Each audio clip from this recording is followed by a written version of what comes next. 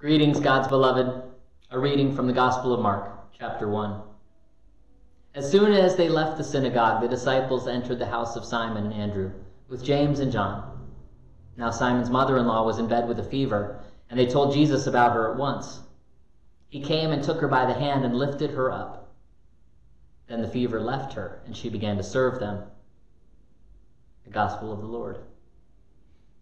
A couple of months ago, I was not feeling well. I had muscle aches and chills and a slight fever, I just felt awful. Just wanted to be in bed.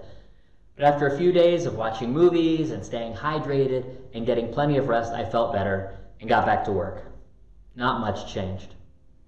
Now, no one wants to be sick, and I can't imagine what folks are going through who live with autoimmune disorders or other pre existing conditions that make them vulnerable right now. This crisis we are facing, though, I think, will not leave us unchanged. Many of us are starting to see the world in new ways, building new habits, and doing what we can to keep each other safe. Those who have lost loved ones will not be the same. And I have to believe that those who are sick and will recover may find new meaning or purpose or awareness in their lives. We don't know when this pandemic will be under control or how long it will last. I just wonder if we can even begin to see how we will be transformed by this suffering.